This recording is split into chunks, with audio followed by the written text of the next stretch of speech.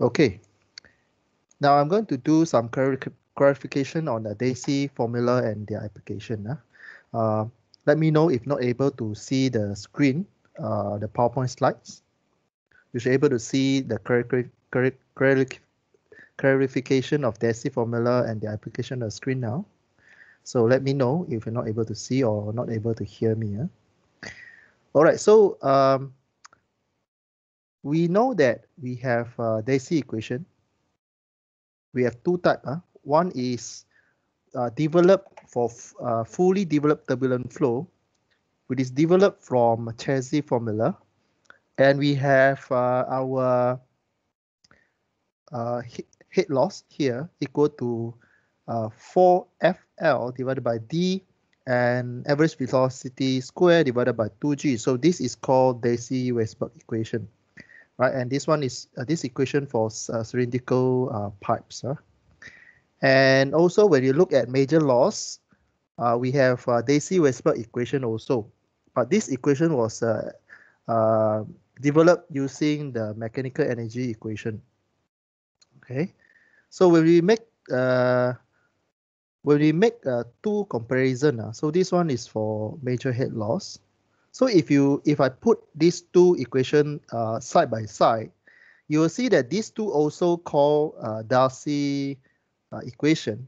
However, the uh, the the structure that you see is a bit different. So I need to explain it a little bit. Yeah? So on the top, this one is developed uh, using the Chezy equation, where in the format of 4F, 4 uh, friction coefficient here divided by d uh, L and uh, velocity square divided by 2g. And the one uh, established using the energy equation, we have F L divided by D V squared divided by 2G. So um, you see the structure here a bit different. Here we purposely put the 4F here rather than we simplify the 2 here. So there's a reason why we do not simplify. These 4 become 2.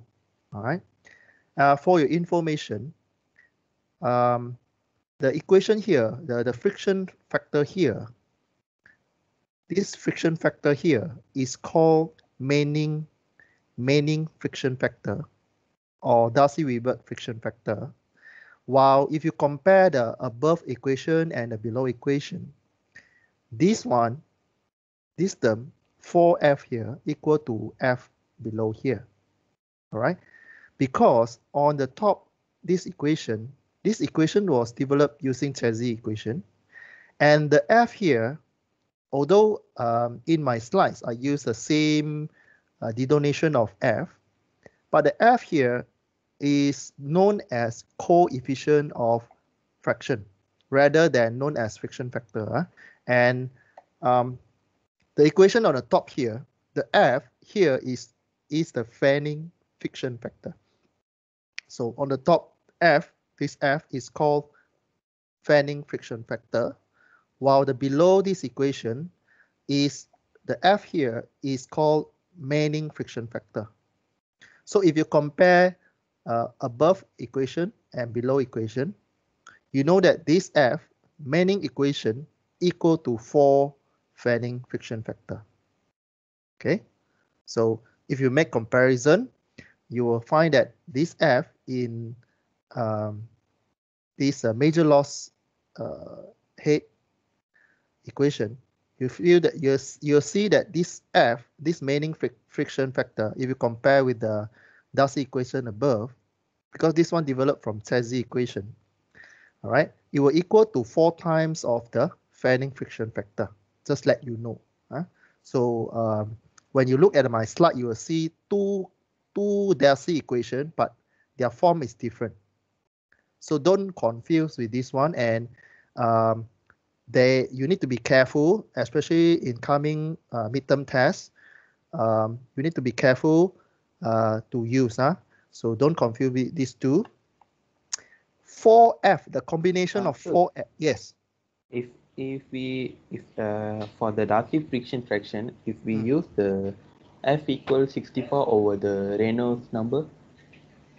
That one you need to see. Uh, that one you need to see whether it's laminar or turbulent.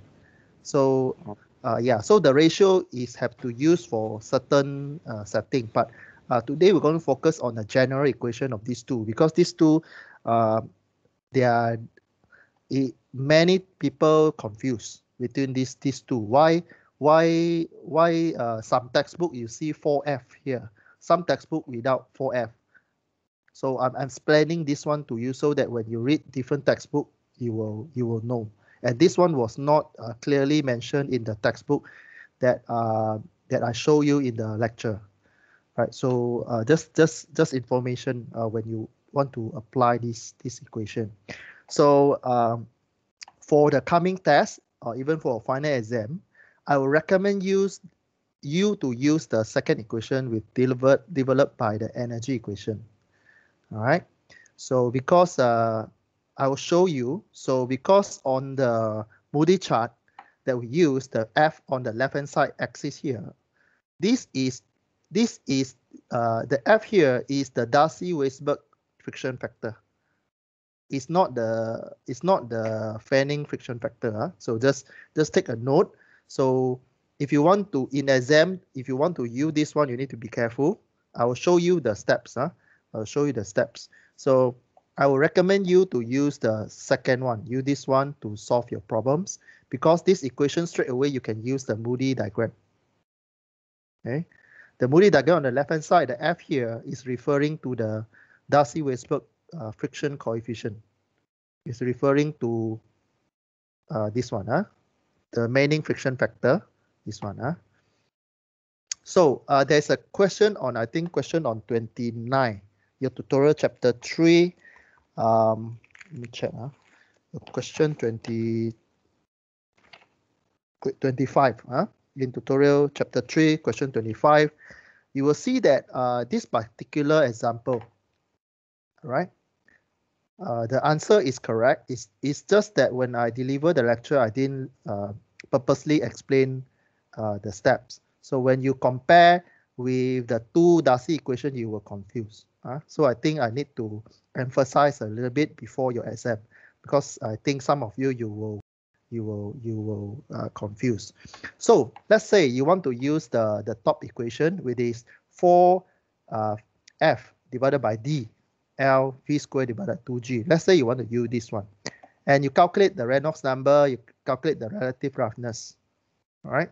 So you have the diameter, you have the, the length of the pipe, and you have the velocity uh, from the statement.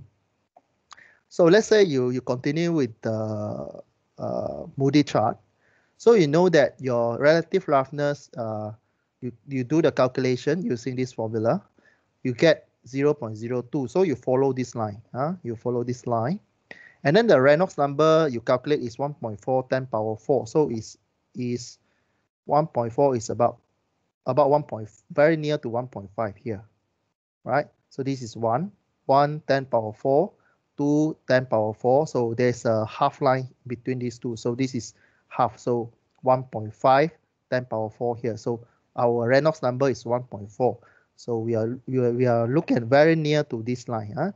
So you draw a line which is very near to the, not, not on the line, but uh, a little bit to the left. You draw a straight line.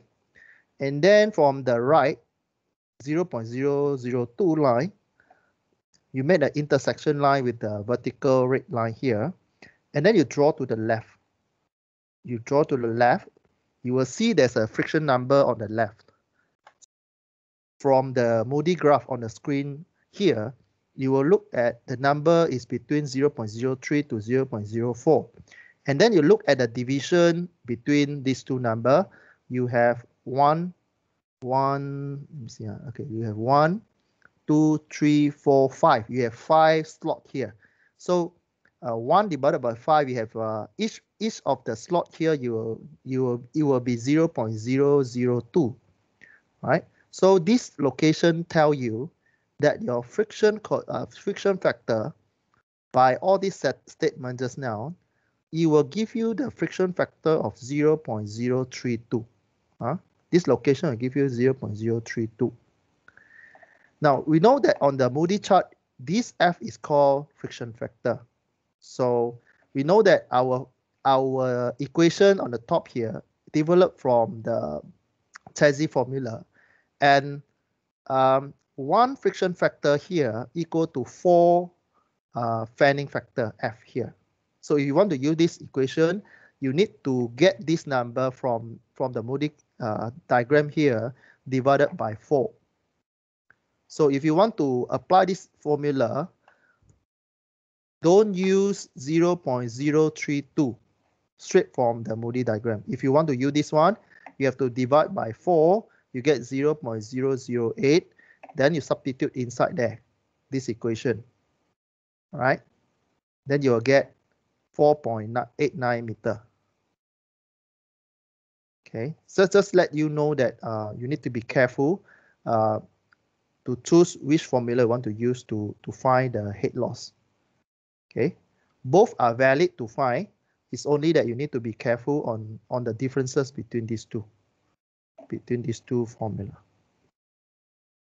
Okay, so in the exam, I'll recommend you to use this one rather than this one.